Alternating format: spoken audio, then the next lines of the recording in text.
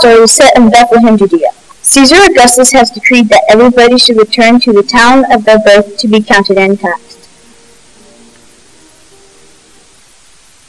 The overcrowded manager, overworked manager, and employees of the overcrowded Bethlehem Inn and Spa are trying to dis, are trying to cope with the rush of people.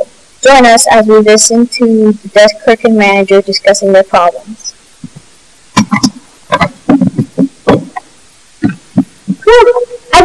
Never seen so. I don't know how we're going to handle all these people. I know what you mean. After posting the no vacancy sign, this morning I received a request from the AAA. You know the Odds and Associates Travel Club? Requesting three king-size rooms. It seems that they have a touring group called the Magi coming to town. And all of the other places were booked. I had to turn them down. You know how those undesirable rock groups discourage the other guests? Tell me about it. And what about those Roman soldiers with all their carousing and carrying on? I've had nothing but complaints from them about our complimentary breakfast. You think goat cheese, beer, and not so bells raising enough for the likes of them.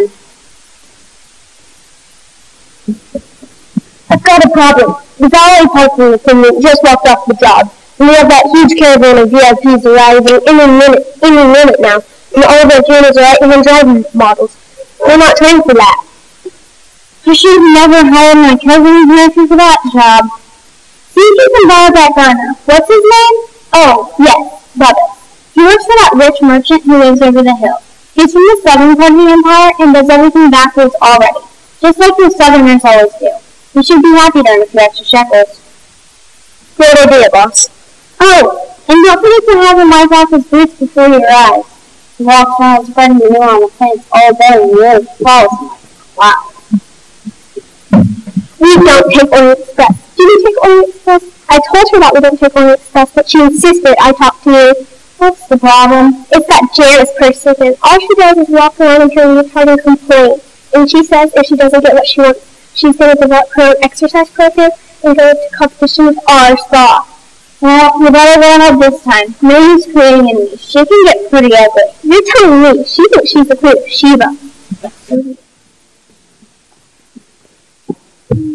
That's it. I've had it. I'm quitting. Now what? I see that cretin in room six, my fried mother lamb chops, just like you ordered.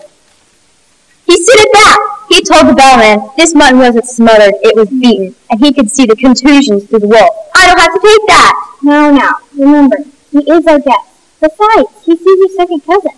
Very well, but one more time, and I'm out of here like Moses out of Egypt.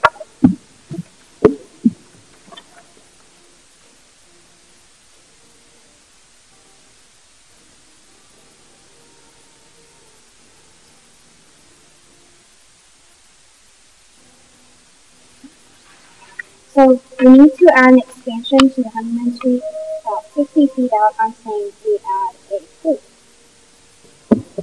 I've got another problem. The group from the Rotary meeting in the Nile dining room wants to transportation for a tour. I contacted Dromedaries RS, but not a single camel was available. One hump or two. What should I do? Hi, I'm Donkey Diana, the South Judea donkey dealer. I can't help overhearing your conversation. I've got plenty of used transportation, and if it's not right, I'll make it right. Free! Thank you! Here's my address. Hmm. Hmm.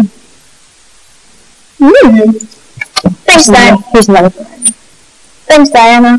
No problem solved. There's a guy out back with an extremely pregnant wife, and no shekels. He's asking for any room we have. Tell there's no room yet. I feel for him, but I can't squeeze another person in here, and he was to fly himself come to save him. But, boss. Oh, I really hate to turn you down. Also, I noticed that the hotel room needs wash job. Take the chariot down to the field next to the inn. There's always a group of shepherds dividing the field there, keeping watch over their flocks by night.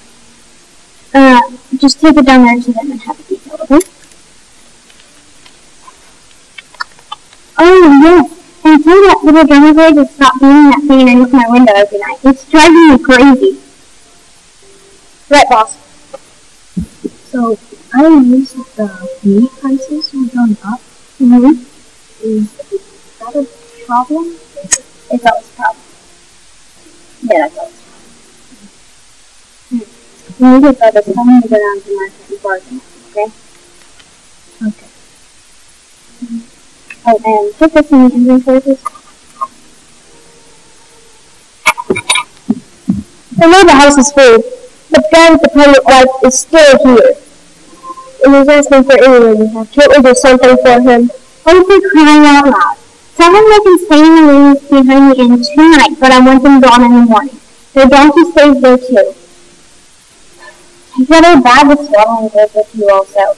I don't think the person who left them in the room is coming back for them. Let us. And thanks. Mm-hmm. Well, maybe things will settle down for a while. I sure hope so. Hey, do you hear what I hear? It sounds like music. It may be coming from out back. Listen. It sounds like a harp. Yeah, and someone singing. I can't make out the words, but it sounds like Noel. You must be that walk we turned away earlier. There goes that little drummer going again. And so the Lord Jesus, Savior of the Jews, Gentiles, and ultimately the world, was born in a stable in Bethlehem. We celebrate his birth at Christmas and await for his return from glory up in heaven. Have a blessed Christmas.